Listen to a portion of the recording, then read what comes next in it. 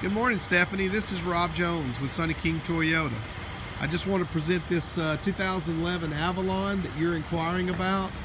This is a 2011 with a limited package that gives you uh, a lot of nice amenities on this car.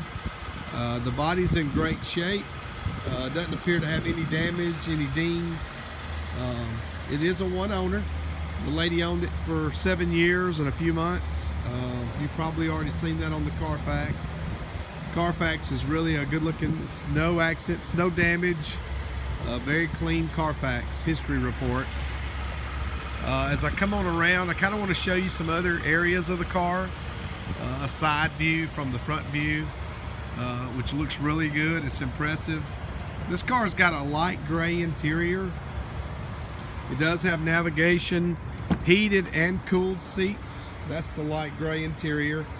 The wood grain steering wheel, the nicer navigation that works off the satellite. You have automatic climate controls, dual climate control is heating and cooling, heated seats, and like I said, the cooling seats. It is a push button start.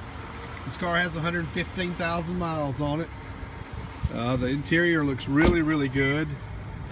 As you can see, it's got rear vents for the passengers in the back, and then those seats also recline in the back. Reclinable seats. It's a good looking car.